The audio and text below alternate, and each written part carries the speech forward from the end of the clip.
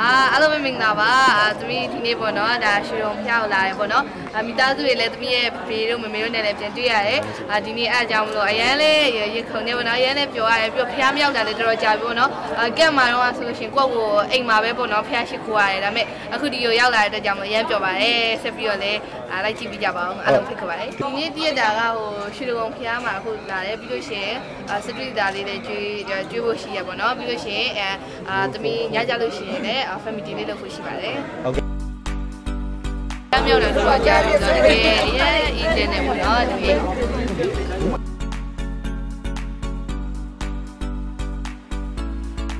အဲ့ဟိုအပြင်မှာရွှေတွတ်တင်မှာတွေ့လို့ရှိရင်ဟိုအာခဏပဲတွေ့ရပါဘောနော်မမေတို့လည်းစကားမပြောရအောင်ပြောကြပြီပေါ့နော်အပြင်မှာဆိုရင်ဒါအမိရဲ့အမအာမိသားစုတွေပေါ့နော်အရင် ဆုံးဒါမေတို့ဒါအနီရေပြီးတော့ဒါတငယ်ချင်းတငယ်ချင်းကဒီနေ့ကြောင်းဖြတ်ပြီးအောင်လိုက်လာတာပေါ့နော်အာသူကအာအခုဆရာဝန်မလေးအာပြီးတော့ဒါကြီးကြီးပေါ့နော်အာဒီမှာဆိုဒါသမီးရဲ့ဖဖပေါ့နော်အခုမလို့မပေါ့နော်ဖဖပါပါပါလေးပေါ့ပါလေး